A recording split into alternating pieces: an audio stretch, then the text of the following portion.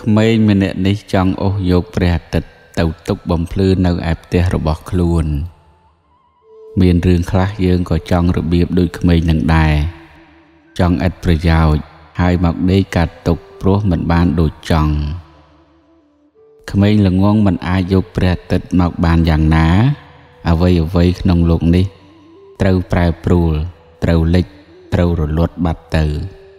មិនមានអ្នកណាយកបានឡើយ។ បើចង់ធ្វើជាមនុស្សល្អចង់រួចផុតចាកទុក្ខចំណងនេះ មានប្រយោជន៍កាលណាបើយើងចង់ហើយ យើងធ្វើការងារដែលជាហេតុឲ្យបានសម្រេចនៅផល តាមដូចដែលយើងប្រាថ្នានោះឯងរស់នៅឲ្យមានយោសេរីប្រឹមប្រៃឲ្យមានគុណតម្លៃជោគជ័យឲ្យមានការប្រយ័ត្ន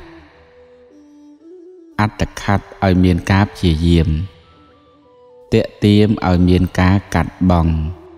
ស្មោះត្រង់ឲ្យមានចំណេះដឹង ខំប្រឹងឲ្យមានផលប្រយោជន៍ហាន់ហោចឲ្យមានវិបស្សនាវាចាឲ្យមានទឹកមាត់ប្រៃធ្វើអ្វីឲ្យមានគេជ្រះថ្លាគិតការឲ្យមានយោនិសោរោគគោឲ្យមានការចិញ្ចឹងក្រោតខឹងឲ្យមានអំណត់ក្រែង វងវែងឲ្យមានអ្នកនៅប្រាប់ពេលស្លាប់ឲ្យមានបនរមុខជាតិទុកឲ្យមានសតិប្បដ្ឋាន ទូលរែកអ្វីអ្វីមិនធ្ងន់ដូចជាការទូលរែកនៅចិត្តល្ងងខ្លួនឯងដែលចេះតែហួងហែងមិនចេះលះបង់មួយមកជាមនុស្សទោះប្រុសឬស្រី2000ពេកក្រៃជួបថ្លៃសាសនា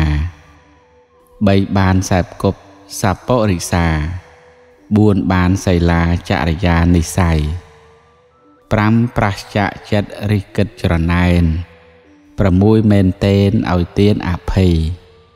7ពេញចិត្តគិតធัวវិន័យ8បានជ័យចូលដល់បព្វជិ